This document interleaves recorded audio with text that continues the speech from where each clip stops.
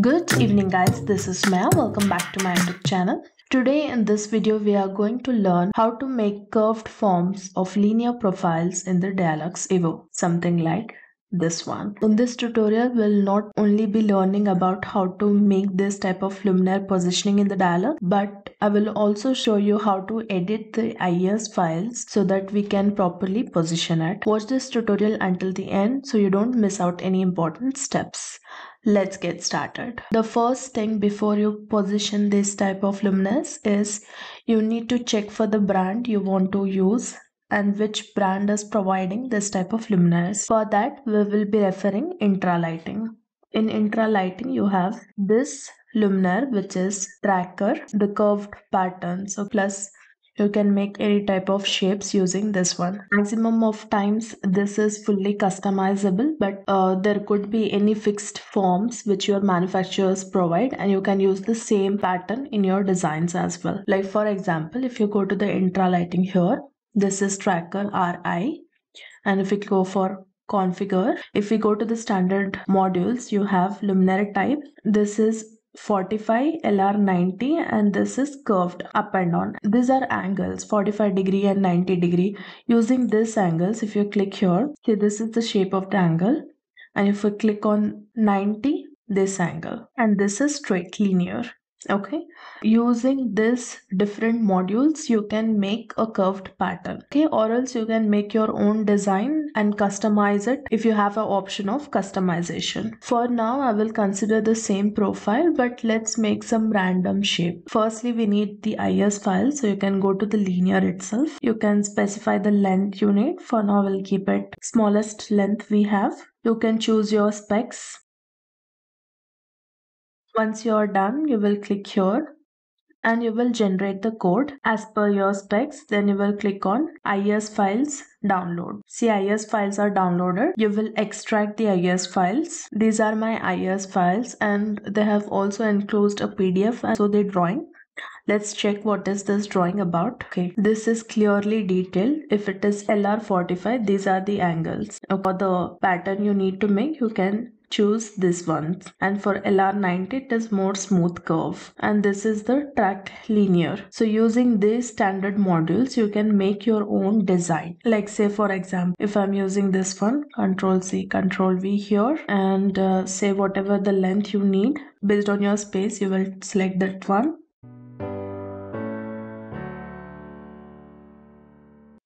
You got the pattern. And from there you can again use something like this depending on your design.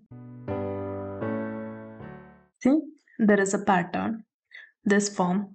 So using their standard modules you can create a pattern like this and use it in your design. Let's see some of the references which they have made. And this is the data sheet. In the data sheet if you see there are more project images where they have followed this curved pattern of the ceiling itself this is beautiful.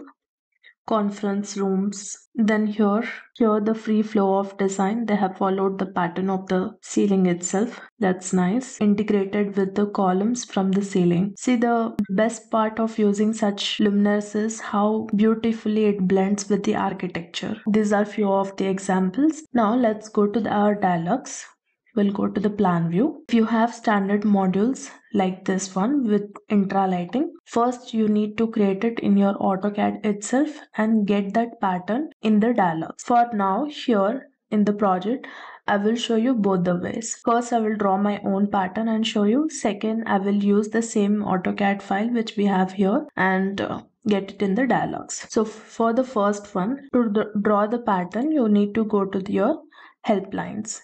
Choose curved reference line. For now, let me just draw some random pattern here in the curved form.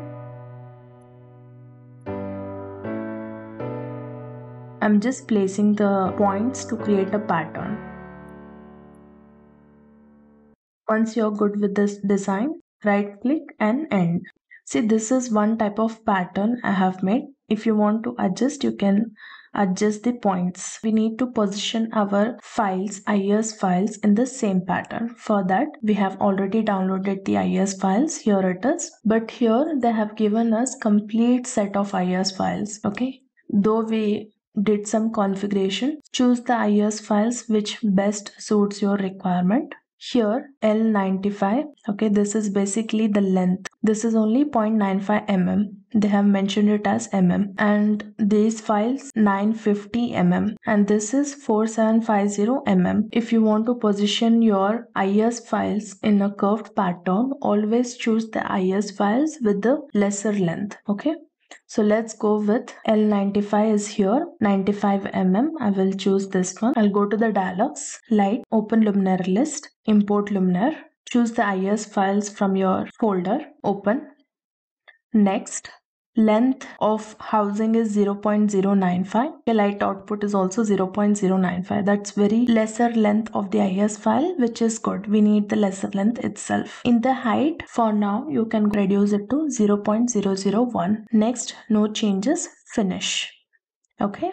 Then place individual luminaire. You will keep your IES file selected. Go to copy and arrange. Copy along existing reference line and click on your reference line. After that, this will appear. It shows you what should be the distance between two luminaires. Either you can give the distance or you can increase the quantity.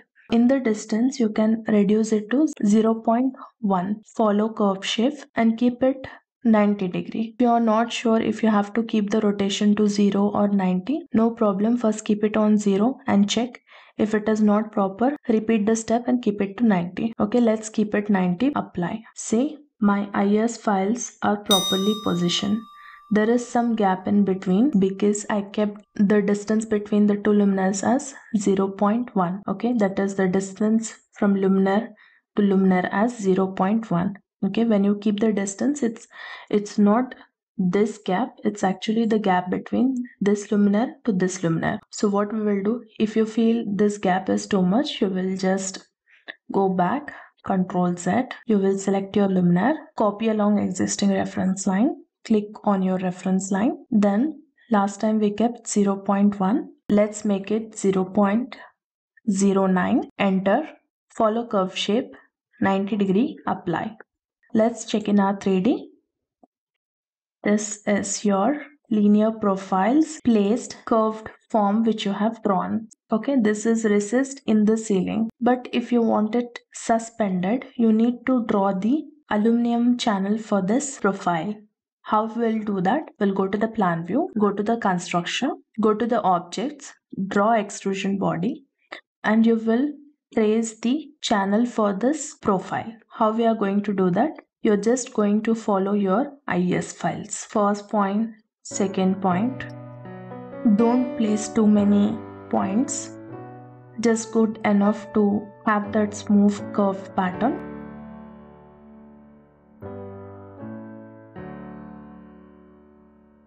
With this one, if I turn like this, it will be difficult for me to make the object. So I will close it from here I will draw that one as a different section.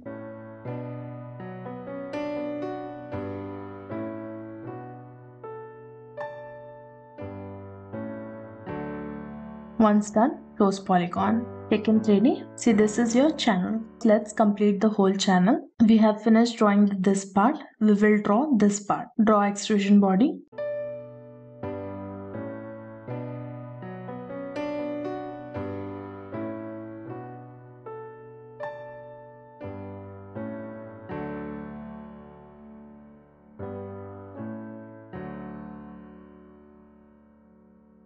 Close polygon. Okay so we have finished this part this part. Now let's draw this part as well.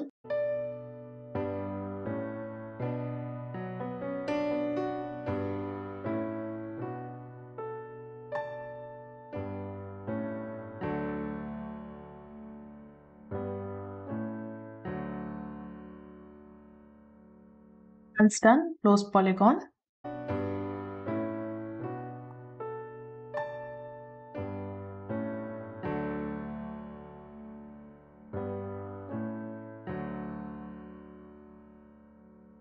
close polygon. Now let's check the profile we have finished drawing with extrusion volume. Now you can select all. Hold the shift key to select all. The group it okay? You can reduce its size. I will keep it 0.1 for now. Now choose the move tool. Bring it to the top till where you want to suspend. Let me keep it at 3 meters okay? Apply some texture to my channel.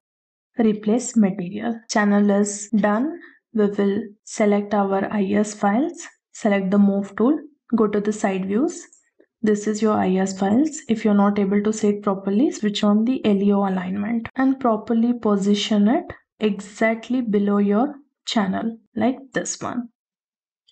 Okay, now switch off the LEO alignment and this is your suspended linear profile curved pattern. If you want to add some hang some strings, it, you can use some vertical cylinder, reduce its diameter and place it. Let us keep it 0.003, a little bit thicker. Apply some texture to that. See, proper. You can position on the other end as well. We have finished the construction. To hide this reference lines, you can go to the display options and click on here, show reference lines. Okay, now let's run the quick calculations. Calculation is completed and you can see the effect perfect. Let us make even a quick render. Go to the ray tracer, increase the resolution and start ray tracing. Render is completed and this is the render. Look at the effect. Perfect. Nice. Now, I also told you in the beginning of this video that you you have to first create the form in your AutoCAD, get your AutoCAD file in the DIALux, trace the pattern and place the IES files. In case you have to get it in the AutoCAD, how you're going to do is go to the construction. I will use the same file. Let me check the units of this file before importing. It's in millimeters. Okay, back to the DIALux. See this curved pattern linear profiles. If you have furniture in the background, then it's difficult to draw it accurately. So what you can do is you can just move your furniture away from your file till you place the IES files and then you can get back your furniture. Now I will select this IES files, go to copy and arrange, hold the shift key and select everything and group it. When you group it, and you want to move, you can move the 3D model, the object and the IES files together. Okay, let us position it here. Get the CAD file, go to the construction, load plan. This is our file, open. Next, it is in millimeters, finish. See the file is here. I will just move plan, move from here to here. It's not positioned properly here. So let me just rotate to some degrees. Once you are done, you will move it accurately, position it properly. See this one is only for a reference. Okay, it's not a proper curved pattern or a design. It's only for the reference that you have to first make a form you need in AutoCAD and get your AutoCAD here and position accordingly. The next step after you position the AutoCAD file is go to the helplines. This was the previous reference line which we have drawn. Delete this one and we will select draw curving reference line and draw the lines point wise. We just need to get that proper shape as per our drawing. Once you have done, right click and end. Now we will switch off our AutoCAD files in the back. Now here we got the IES files of very small length that is only 0.1 meters. But in case when you download the IES files of 1 meter, it's impossible to create a curve pattern with the IES files of 1 meter or more than that. Okay, so you have to reduce the size of the IES files. How you will do that? Let us consider this one, L 950 mm. We will select this one, place it on the desktop, then open LDT editor. If you don't have the LDT editor, go to the DIALux or just type LDT editor for DIALux and you will get it here. From here you can just click download and install. It's free to use LDT editor. Open the LDT editor, load the file, select this one LDT IES all LDT IES files. Click on all so that whatever the files are there that is visible. I want to choose this one. Open. In the general information you can see all the data regarding your luminaire. Okay then if you click on luminaire Here are the dimensions. Length of the luminaire is 950 mm. Here is the units 950 mm. So you have to reduce this 950 mm 100 mm. Okay. Because the smaller the IES file is, the easier it is for us to place it in a curved pattern. Okay. So we will change this 950 to 100. Change only the length, not the width of the luminaire. Okay. Then length of the luminous area to, we will change from 950 to 100. Width will be same. Then no changes in any of other details here. Only the length of luminaire and length of luminaire's area. Then you will go to the lamps and this is the very important part we need to modify. Now here we need to do a simple math. Previously the length of the luminaire was 950 mm, right? And when length was 950 mm, the wattage was the power, it was 22.7. When the length was 950 mm, the wattage was 22.7 watts. Now you have reduced the length to 100 mm. So for 100 mm, you need to calculate what is the wattage. It's simply a cross multiplication like this. That is x equal to 22.7 that is 22.7 into 100 mm divided by x will go here right? x into 950 so if x is here 950 will go to here. Now do this math 22.7 into 100 divided by 950 that is 2.3 so x is equals to 2.3 watts. Okay? 2.3 so we will change it here 2.3 color rendering in index you have to check your data sheet and give it the value. For now we'll keep it 80 color temperature we are using 3000 kelvin. Luminous flux also you have to calculate. The same way you calculated the wattage.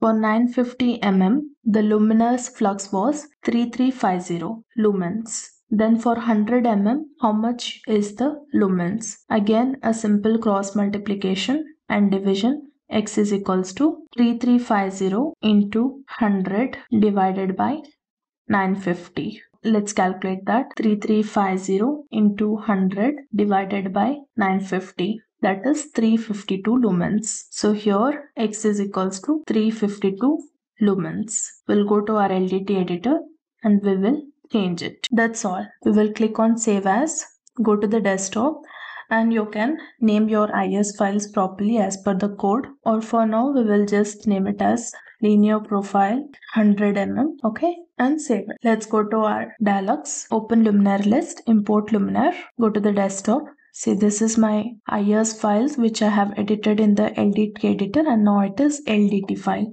Open, place it, see now it is only of 100 mm. Now you want to position it in this curved pattern. So you will select this, go to copy and arrange, copy along existing reference line, distance between the luminaires keep it 0.1 for now, follow curve shape 90 degree and apply. See it is properly positioned. Delete this extra luminaire now check in your 3D. See, you got that curved pattern form of your profile. Now this looks like a surface luminaire. If you want to make it look like a suspended, you can give it some suspension height. Or if you want to make it look like a recessed, you can go to the side views and position it properly such that this appears as a recessed profile. Okay. And coming to this project, all these objects which you see here all these are DIALux 3d models and you can find them on my website sumaiyaeliyaz.com my website has free 3d models of DIALux so it's dxobj if you go to the 3d models you have here retail. These are the different 3d models which you have. Whichever you feel goes well with your application you can select add to cart and download. That's it. Let's run the quick calculation and check the result. Calculation is completed and look at that. The one which we drawn with reference to the AutoCAD and the one which we made as a free form. So this is it guys in this video. If you found this video helpful, please do hit a thumbs up, subscribe to my channel and stay tuned to explore more in DIALux with me. Thank you.